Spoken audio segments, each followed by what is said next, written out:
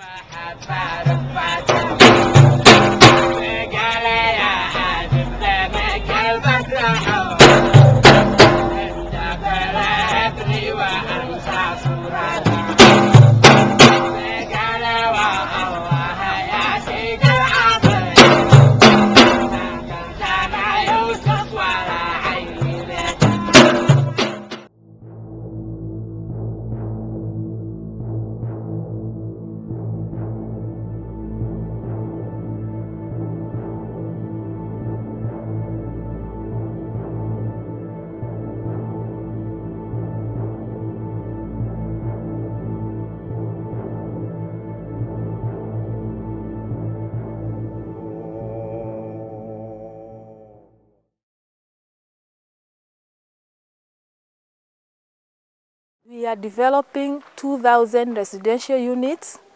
Every unit has two bedrooms, sitting room, kitchen, bathroom, toilet, and a kitchen garden.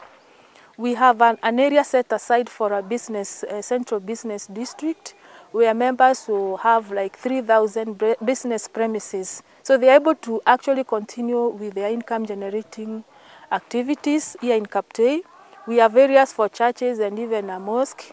We have a place for the administration like the chief's office, the police, even a post office and a, a, a, an annex which will be built by St. Mary's Hospital.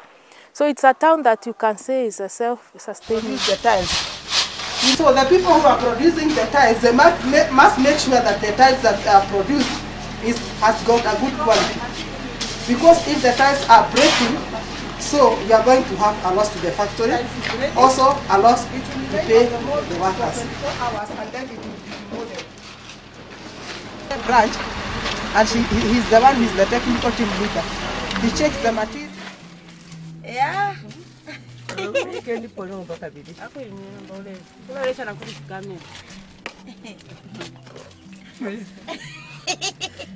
Ana, io muerto. Poi ci abbiamo.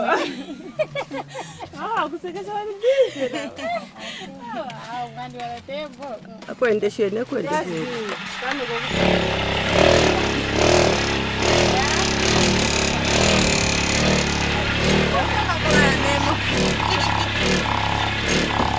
Quando passar eu te conto.